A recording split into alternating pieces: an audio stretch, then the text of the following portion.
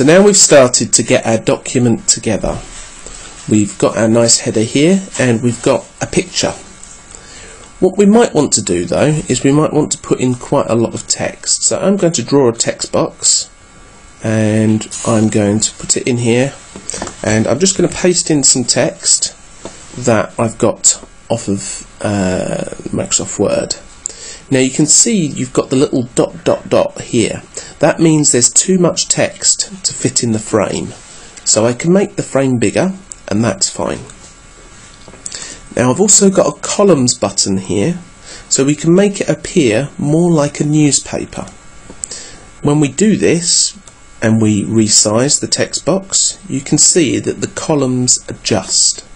Again if I take my picture and put it in a column like this and what I just need to do is bring that to the front you can see that the text in the column wraps around it.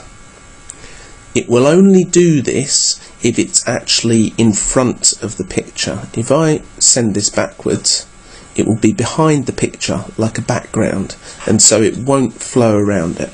I'm going to put my picture back up here.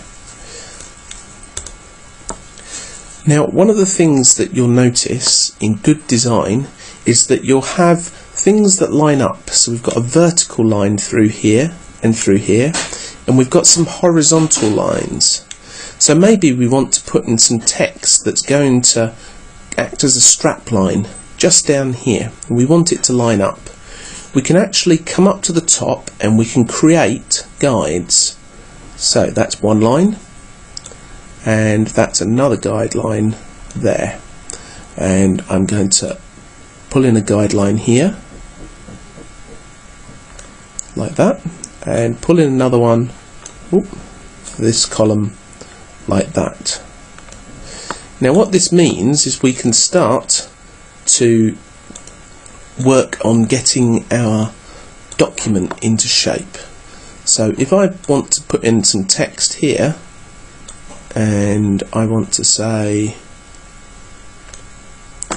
uh, issue uh, 1 uh, and let's sell our little magazine for £5.99 remember the F9 key takes you in like that. Now if I want this to start to look better what I can do is I can for example text fit best fit like this and you'll see that it starts to key in to this line down here. So I'm just going to make sure that's that line and I'm going to set the margins of the box to none. And there we are. So now if I set a background colour on that text box, so I'm going to right click and I'm going to select format text box. And the colour is going to be in green like that. You can see that it's filling this square here which is lining up with the bottom of my image. Now I'm no designer but this is how the pros do it in terms of getting things to look good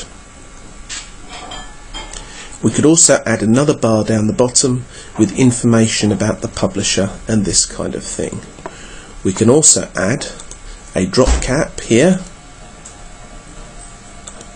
and you can see that already it starts to look like a proper newsletter. Join me for more tips next time.